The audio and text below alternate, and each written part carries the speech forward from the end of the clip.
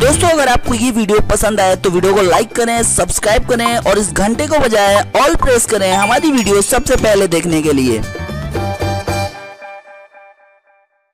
Welcome back to the channel this is Pankaj Vidyu IPL 2020 का दूसरा qualifier Delhi Capitals और Sunrisers Hyderabad के बीच में खेला जाने वाला है। यानी कि एक तरफ़ फाइनल में अपनी जगह बनाने के लिए धावा बोलेंगे धवन, रबाड़ा बनाएँगे कबाड़ा, वहीं दूसरी तरफ़ वार्नर करेंगे वॉर और कमाल धमाल दिखाएँगे करमाती खान। तो ऐसे में काफ़ी कमाल का मुकाबला होने वाला है ये। तो अब बने इस वीडियो में हमारे साथ, क्योंकि हम करने वाले हैं इस मैच की बात। सबसे पहले बात करते हैं कि क्या है पिच का हाल। तो ये जो मुकाबला है Sheikh Zayed Stadium Abu Dhabi में खेला जाने वाला है। और अब तक यहाँ इस आईपीएल के 21 मुकाबले खेले जा चुके हैं, जिनमें से 8 बार पहले बैटिंग करने वाली वहीं 13 बार बाद में बैटिंग करने वाली टीम जीती है। आपको बता दें कि पिछले 6 मैचों से यहाँ पर लगातार रन चेस हो रहे हैं। तो टॉस जीतने वाला कप्तान टॉस जीतने के बाद गेंदबाजी करने का मतलब पहले गेंदबाजी करने का फैसला ले सकता है। इन 21 मुकाबलों में 135 विकेट तेज गेंदबाजों को, वहीं सड़सठ विकेट स्पिन के जादूगरों को भी मिले हैं। बीतते मैचों के साथ साथ यहाँ पर बैटिंग करना काफ़ी ज़्यादा डिफ़िकल्ट होता जा रहा है। तो एक बार फिर से आपको एक एवरेज स्कोर वाले मैच से काम चलाना पड़ सकता है। अब बात करते हैं दोनों टीमों की पॉसिबल प्लेइंग इलेवन की और इनके फॉर्म की। सबसे पहले बात करते हैं दिल्ली कैपिटल्स की।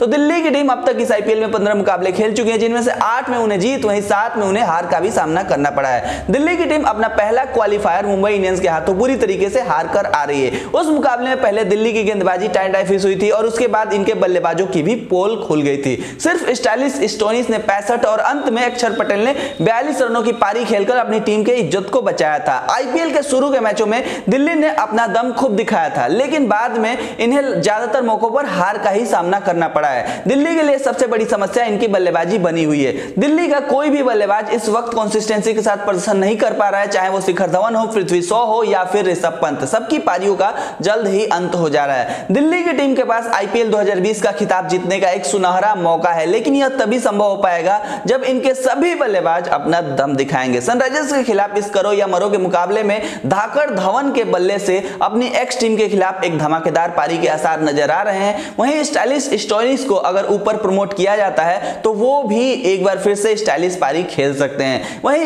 इस आईपीएल में 433 रन बना चुके, और सनराइजर्स के खिलाफ 310 रन बना चुके कप्तान सरेश अय्यर भी एक कप्तानी पारी खेल सकते हैं। दिल्ली की टीम में सिमरन हेटमायर की वापसी हो सकती है तो उनकी भी एक हिट पारी दिल्ली की डूबती नैया को पार लगा सकती है। बात करें अगर इनकी गेंदबाजी की तो पूरे टूर्नामेंट के दौरान इनके गेंदबाजों ने काबिल तारीफ़ प्रदर्शन किया है। खास करके इस आईपीएल में 20 विकेट ले चुके नोटिया और 25 विकेट ले चुके रबाड़ा ने। और एक बार फिर से अपने विरोधी बल्लेबाजों की कड़ी परीक्षा लेने के लिए ये दोनों गेंदबाज तैयार है। रविचंद्रन अश्विन पर भी इस मुकाबले में काफ़ी कुछ डिपेंड करेगा। अब बात करते हैं सनराइजर्स हैदराबाद की। तो सनराइजर्स हैदराबाद की टीम भी इस आईपीएल में पंद्रह मुकाबले खेल चुके हैं, जिनमें से आठ में उन्हें जीत, वहीं सात में उन्हें हार का सामना करना पड़ा है। सनराइजर्स की टीम इस समय प्रचंड फॉर्म से गुजर रही है बैक टू बैक चार मैचेस जीत कर आ रही है। पिछले मुकाबले में इन्होंने कोहली की टोली को मात देकर क्वालिफायर टू में अपनी जगह पक्की की थी। सनराइजर्स के लिए अच्छी बात तो यह है कि इनके गेंदबाज लगातार अच्छा प्रदर्शन कर रहे हैं। जी हाँ जैसन होल्डर इस आईपीएल में मात्र छह मैचों में तेरह विकेट ले चुके हैं। वहीं संदीप शर्मा को भी तेरह टी नटराजन को सोलह और राशिद खान को उन्नीस विकेट मिल चुके हैं। इससे आप अंदाज़ा लगा सकते हैं कि सनराइजर्स का हर एक गेंदबाज इस वक्त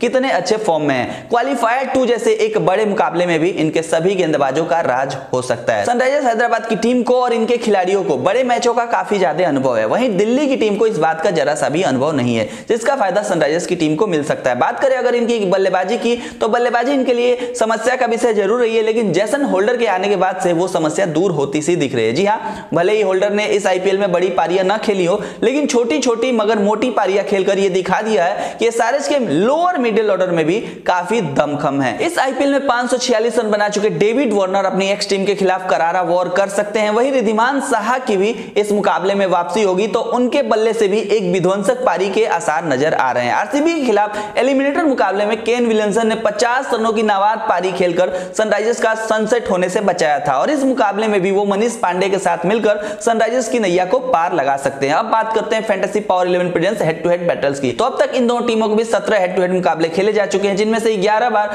सनराइजर्स का सनराइज हुआ है। वहीं मात्र छह बार दिल्ली ने अपना दम दिखाया। पिछले साल इन दोनों टीमों के बीच तीन मुकाबले खेले गए थे, जिनमें से दो में दिल्ली ने जीत दर्ज की थी। वहीं एक में सनराइजर्स को जीत मिली थी। और इस साल भी इन दोनों टीमों के बीच दो मुकाबले खेले जा चुके हैं और दोनों ही मुकाबलों में सनराइजर्स को जीत मिली है। अब बात करते हैं fantasy power eleven players X factors की। तो दिल्ली कैपिटल्स की तरफ़ से इस आईपीएल में 314 रन बना चुके और नौ विकेट चटका चुके स्टाइलिश स्टोन इस एक्स फैक्टर का रोल प्ले कर सकते हैं। वहीं सनराइजर्स हैदराबाद की तरफ़ से इस आईपीएल के मात्र छह मैचों में तेरह विकेट चटका चुके जैसन होल्डर एक्स फैक्टर का रोल प्ले कर सकते हैं। आपको बता दें कि ये दोनों खिलाड़ी मेरी फैंटेसी पावर इलेवन की टीम के कैप्टन एंड वाइस कैप्टन भी हैं। आप भी अपनी टीम फैंटेसी पावर इलेवन पर बनाकर आईफोन इलेवन के साथ साथ ढेर सारे रियल कैश प्राइजेस भी जीत सकते हो। जी हाँ लिंक आपको नीचे मिल जाएगा। तो भैया, देर किस बात की? मौका भी है और दस्तूर भी है। फैंटेसी पावर इलेवन के जैसा आपके पास कोहिनूर भी है। लिंक आपको नीचे मिल जाएगा।